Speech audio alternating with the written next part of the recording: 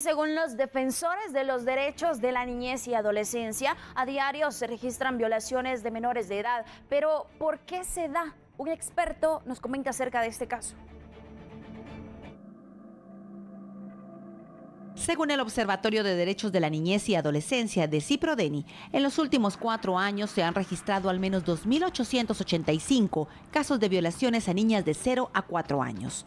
Autoridades de la Policía Nacional Civil confirman la captura de 120 presuntos violadores durante el 2019 y en lo que va del 2020 van 12. Pero cuando un menor de edad es el agresor, se debe poner mayor atención. Una de las cosas que nosotros hemos experimentado es de que los niños no hacen este tipo de cosas solo porque sí. ¿sí? Ellos, lo tienen que aprender en algún momento. El asunto es dónde lo aprendieron, cómo lo aprendieron o qué estaba intentando el niño experimentar en ese momento. Ah, creo que aquí entran muchos factores y no solo sucede con este tipo de casos. Resulta ser de que nuestros niños el día de hoy están expuestos a mucha información, ¿sí?